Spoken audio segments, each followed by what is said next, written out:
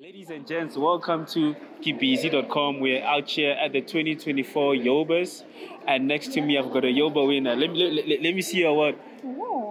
Yeah, so you know, um, she got a top media award. But yeah, before we get into that, uh, please introduce yourself and tell us what you do. Hi, my name is Marcia, and I'm the founder of Millennial Mindset Media, a township based digital marketing agency. We pride ourselves in actually um, using our profits to drive our purpose, which is we bridging the digital divide while creating great content for brands. Ah. Okay, so basically you're an agency for the for the township market, am I right?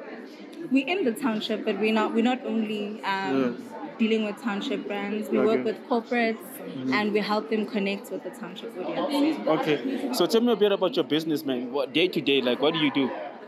We do social media management. We do uh, animation. We do mm-hmm. web, website management. Mm-hmm. We do influencer marketing. Mm-hmm. A variety of service within the digital space.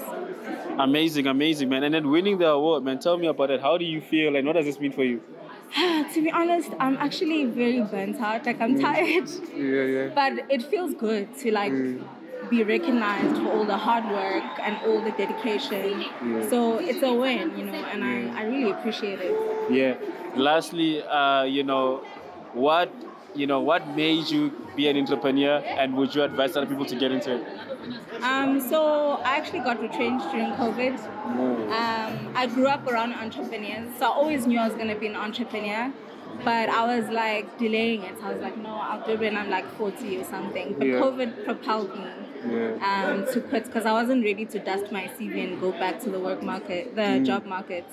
So I always knew I was gonna be an entrepreneur. COVID made it happen sooner. Hmm. Wow, congratulations, man. Anything else that you wanna say? Um, I want to encourage entrepreneurs, you know, like take time to yourself to rest, make sure that you fill into your cup, keep going, don't give up. You'll win eventually. Yeah, yeah. You know, um, I know I said it was the last one, but I've realized that like uh, corporate, uh, people that come from corporate and become entrepreneurs become the most successful and very quick. Why do you think that is?